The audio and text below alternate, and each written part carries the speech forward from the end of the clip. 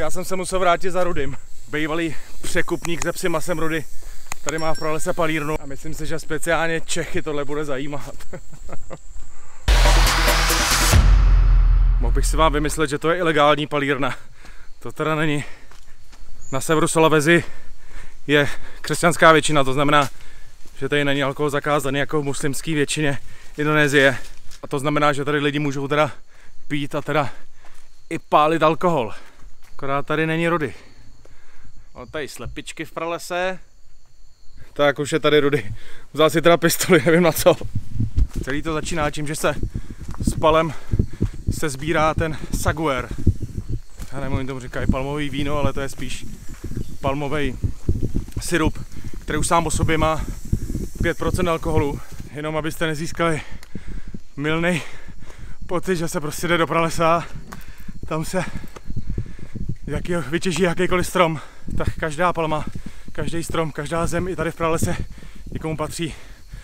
Rudy je domluvený s majitelem toho lesa, že mu to hlídá, může tady těžit sagover. Já tam za ním teda nepolezu. Tam ty díry nahoře, která je po větvi uřízlý, tak z toho teče ten alkoholový syrup. Saguer. Tak já ten postup mám samozřejmě nastudovaný od předtím, protože, protože Rudy mu nerozumím ani slovo.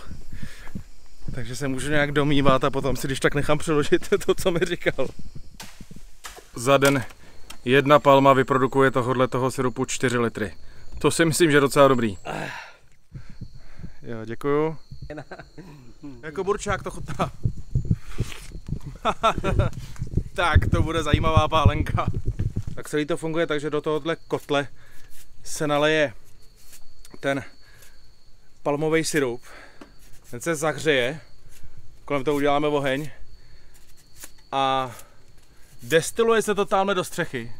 Potom to vychází na střechu do dalších dvou tlustých bambusů a několik desítek metrů se to destiluje, až to potom kape do sklenice. A tady to má vykapat. Tak si počkáme. A je to tak, že na jednu lahev čaptyku se potřebuje sedm lahví toho palmového syrupu, toho sagueru. Nalej to do kotle, trošku mu do toho syrupu popadají včely, ale tomu asi nevadí. Ini kan binatangnya nak kotor. Asi se destilujou i s tím, takže to je včelí palmová kořalka. Pralesní kořata. Jenom jako by vám bylo jasný, že takhle vypadají normální kořata, ne jako ty vyšlechtěný naše. Čekání, až nám nateče čap čap, si tady trošku s rudým krátíme tím, že se tady trošku naliváme saguerem. Vosy tam nejsou, vypadá to tak, včely. Tak už se nám to vaří. Tak lahev čaptiku se prodává jenom 15 000 rupy, to je 20 korun. Chcem se rozvědět, že když se toho sagueru vypije víc, takže potom má člověk sračku. Stejně jako po burčáku. Tak já nevím, na tohle to dopijou, uvidíme.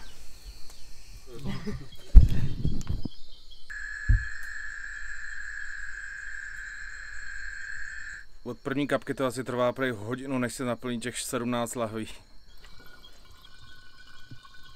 Takže nevědí, proč se to jmenuje krysí znamení. Krysí razítko. si možná kvůli tomu, že se potom člověk chová jako krysa. Ale co jsem se dočetl, tak jeden panák vás zahřeje, druhý vás dostane do vězení a třetí vás dostane do pekla.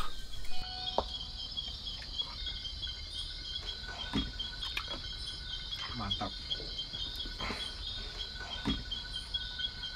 Dobrý? Party v pralese.